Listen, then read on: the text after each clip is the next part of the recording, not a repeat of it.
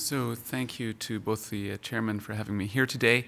It's ironic, um, it's been 20 years since I've been in Seattle, and the last time I was here, uh, I visited Dr. Scribner on his houseboat.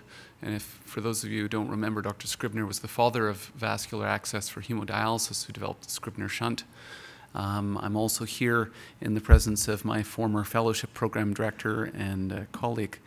So uh, I have no disclosures. Um, Eran wanted me to touch upon this transition from surgeon to interventionalist, and uh, it didn't occur so much as you know having patients run away from the waiting room, but my waiting room was obliterated. And um, I'll, I'll, show you how I got there. So I briefly want to talk about ultrasound guidance as a key enabling skill and some venous and arterial access basics and advanced stuff and how things have changed. So I'm what you'd call a, a, classically trained vascular surgeon in a 5 plus 2 paradigm, where I'd done a full general surgery residency and then two years of vascular surgery. And then I started my practice as a community vascular surgeon doing low to mid level uh, uh, vascular surgery and only open vascular surgery. So there was no significant endovascular component to my first job. And then uh, our provincial health authority regionalized vascular surgical care around the Greater Toronto area. And as part of that, my practice of low to mid level acuity stuff was moved to a um, university teaching hospital, really one of our hospitals of last resort in the province. And um, with that, they put us on salary and gave us access to EVAR. And the salary component's important. Um, at that point, uh, peripheral vascular disease interventions for occlusive disease were being done by my VIR colleagues, and I suddenly went from my rather pedestrian practice to a large number of medically complex patients who were really unsuitable for open surgery. And my open surgical cases became those combined surgical oncology and vascular cases, iatrogenic trauma. We had a nice big pediatric trauma center across the street. Uh, and my PVD practice became amputations and foot debridements. So my, my satisfaction was declining rapidly. I knew something had to change, and at the same time, the paradigm of vascular surgical treatment had changed. And there's virtually, except for those areas I'd already outlined, virtually no area of vascular care that can't be treated endovascularly. So I was a recent graduate and out of date. So, through some rather unique circumstances, um, Dr. Kachura accepted me as a fellow, uh, as a uh, to be trained fully as a uh, uh in both vascular and non-vascular interventions, and the only Canadian vascular surgeon to have done a full interventional radiology fellowship. Uh, what was also unique was I did it in my own hospital, and I went from you know having worked there for five years as a staff to being a trainee. And you know, there's a big importance to the credibility and proper training. Um, but at the same time, I, I while I, I, took a big pay cut that year, um, I was learning something new every day, nuances of cross-sectional imaging, radiation safety, image guidance. Uh, and to some extent, you, you need the personality to be able to take your surgical ego and put it aside and be the dumb guy in the room again. That's very important to be um, approaching these new experiences with uh, some humble attitude, but at the same time, you start to see some things through a surgical lens. And that, you know, when doing vascular, non vascular interventions, my background obviously made me more interested in one area, but I'd forgotten how much I enjoyed the biliary tree. And biliary and non-vascular interventions, just a different size of access and different door. In vascular interventions, we have a small door of entry. Non-vascular, bigger. Uh, and the same skills that I would use to biopsy an adrenal gland under CT guidance, I could use for access to embolize an endoleak. And one of the things that uh, John always taught me was it's about the pictures, but it's also about the feel. And surgeons understand this when their guide wires being uh, having uh, not advancing properly and your equipment's deforming and you understand the feeling of a needle that goes into the lumen of a vein or an artery and the guide wire advancing smoothly um, these are things that we, we learn and are happy about. So my early challenges were really learning good ultrasound guidance which i found to be a, a key enabling skill integrating data from multiple imaging modalities simultaneously. And this is something that I think radiologists will and always do much better in, uh, until such time as we have really the advanced uh, integration that we, we uh, saw Dr. Swanstrom talking about. And um, some responsibilities of working between two departments can be quite challenging for scheduling, managing call schedules for both groups. Uh, but at the same time comes with this a big advantage. You're doing a lot of procedures that would not normally be part of vascular surgical practice. Uh, things from portal vein embolization and uh, uh portal vein access for pancreatic islet cell transplantation, um, renal denervation when that was fashionable, uh, biliary uh, stenting and drainage. Um, so these are things that I, I kind of get me back to my general surgical roots in some way, and bring me into contact on a daily basis with a much broader group of practitioners and really improve my personal and professional satisfaction. But in terms of starter cases, PICC lines, a PICC line has some micropuncture access, Seldinger technique, some basic ultrasound and fluoroscopy guidance, central venous access cases. Um, I don't do ablations um, anymore, but uh, a lot of uh, the ablations that I did as a trainee were excellent training for ultrasound guided um, uh, solid organ access and straightforward iliac intervention. These are all good places to start. Now, as surgeons, you'd never hand a resident a scalpel and let them move it in the ab patient's abdomen blindfolded without seeing what they're doing. So, with respect to ultrasound and an in plane access where the beam is only a millimeter wide, takes some time to learn to line everything's, everything up between two hands and see the full passage of the needle. And this is you know, my preference. Um, so I, I, can see where it's going. I'm putting a sharp object in a patient. I need to know where, what I'm doing. Sometimes, though, you have to give up the position of the needle uh, to a more favorable location, and your ultrasound probe will go to a different, different location.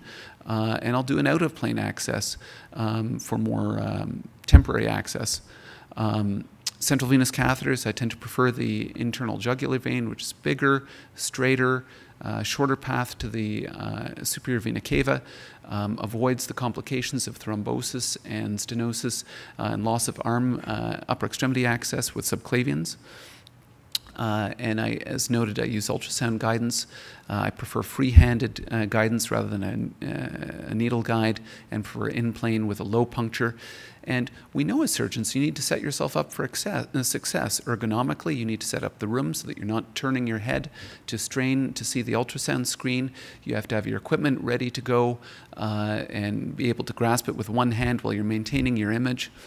Um, Here's the internal jugular vein uh, in front of the carotid, and I'll use a 25 gauge needle that I infiltrate local with just to set myself up proprioceptively and uh, understand the relationship of my hands to this patient's target and the ultrasound probe before I go on with the uh, uh with full puncture needle.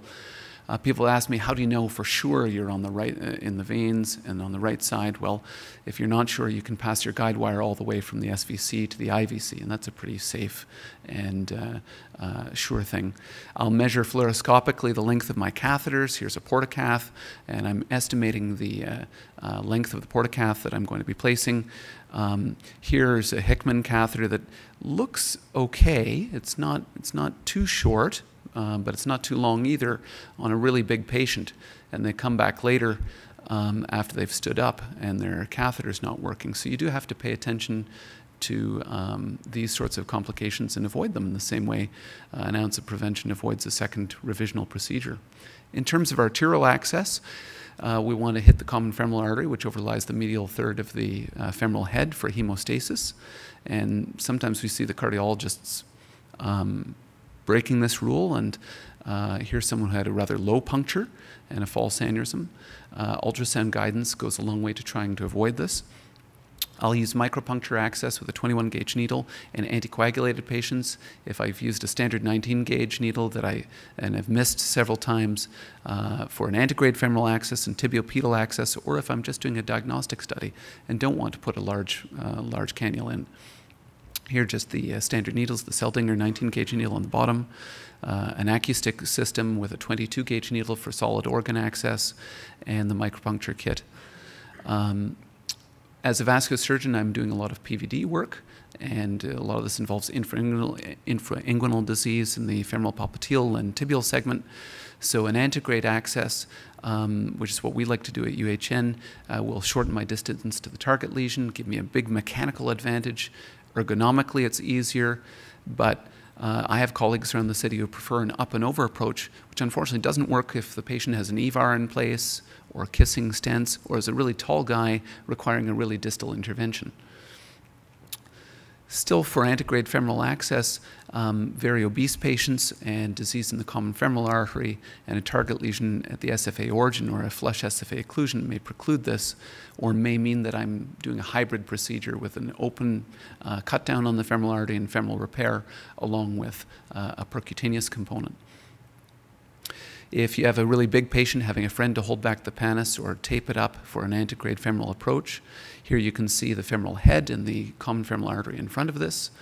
The access needle hits the uh, common femoral artery just above the femoral head. Uh, what doesn't project as nicely here, but you can see the guide wire going into the profunda femoris artery. And if you have good ultrasound skills and have put a little curve on the end of your wire, you can redirect the uh, wire into the SFA and save yourself a lot of trouble putting in a sheath and a safety wire and using a directional catheter to try and get back into the SFA. As your skill grows, you can use ultrasound guidance for tibiopedal interventions uh, where you failed to cross a lesion from above.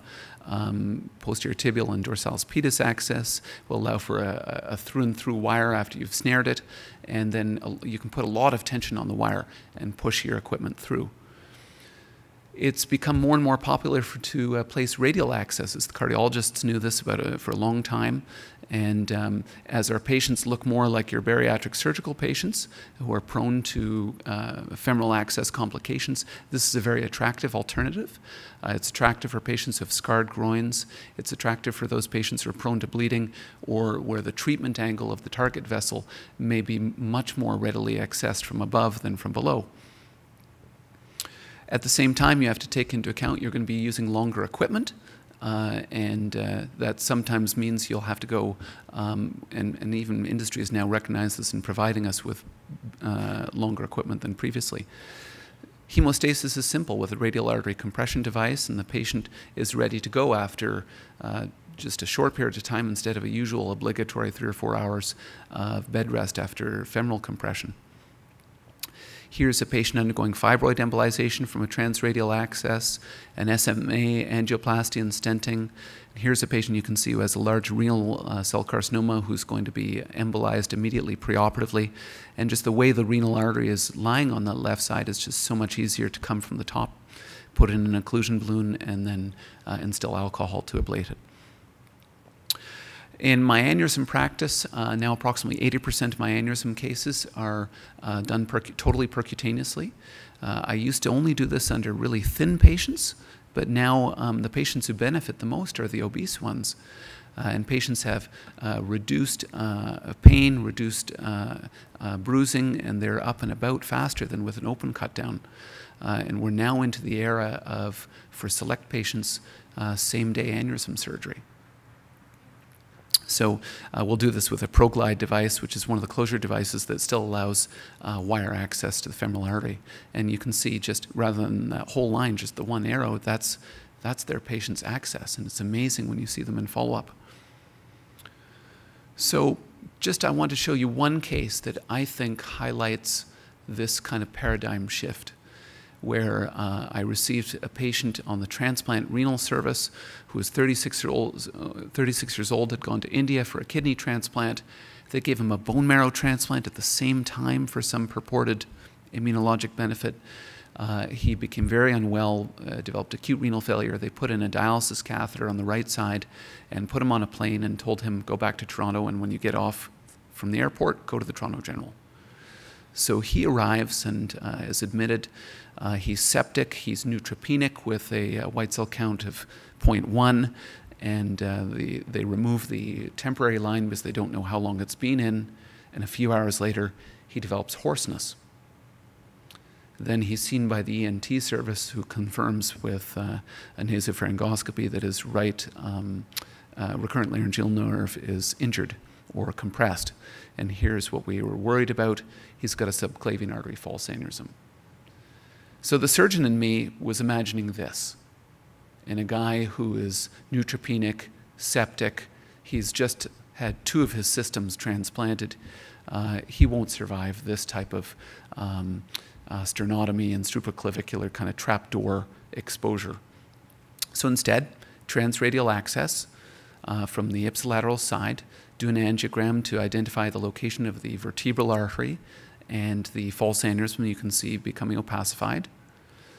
Put a balloon across the origin of the aneurysm and inflate it for a couple of minutes. Make sure he tolerates the fact that you know, his vertebral artery will be temporarily compressed. Use an ultrasound while you're waiting to puncture the false aneurysm through a supraclavicular window with a 21 gauge needle and inject some contrast, see that you're in, and then inject thrombin and wait. Do another angiogram, and you can see it's completely excluded, and an ultrasound with the needle still in, you can see also there's no more any flow. You've saved this patient a horrible exposure. This is what the best of surgery and all of these paradigm shifts are about. So surgery has changed. Uh, now you've had a second person kind of talking about this, and really, in my mind, the importance of ultrasound for surgeons as a key enabling skill, ultrasound guidance, and early success with basic cases allows you to really think about more complicated interventions. So thank you for the opportunity today.